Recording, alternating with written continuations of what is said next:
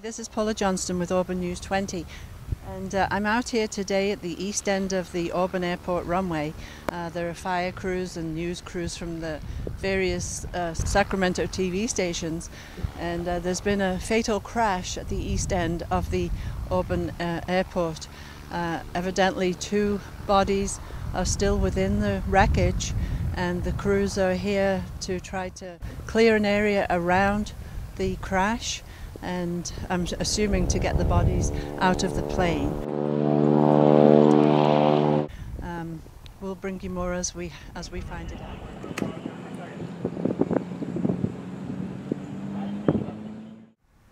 The only challenge that we're having right now is just getting the National Transportation Safety guy out here to give us the okay to cut into the plane and start to remove the people out of the plane. How long could that take? Could it be a long process throughout the day? Well, they've already given the okay. He's here on scene. He's out there investigating. The crews are out there starting to cut. I would imagine it probably will be an hour. So then the bodies will be out of the plane. packaged. I'm Paula Johnston with Auburn Auburn News 20.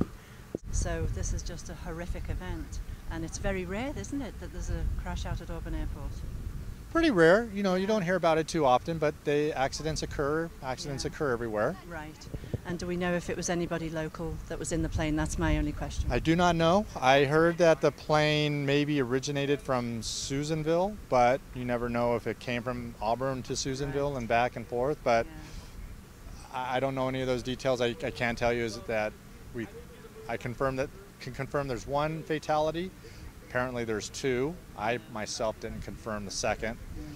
It's entangled in the trees and brush. They're right now they are in the process of cutting into the plane and clearing the way to you know clear the brush and trees and all the non all the other stuff out of the area so that they can safely remove the people out of the planes without getting hurt themselves. We got here this morning about 8:30 and now we're leaving. Cal Fire is going to run the rest of the incident.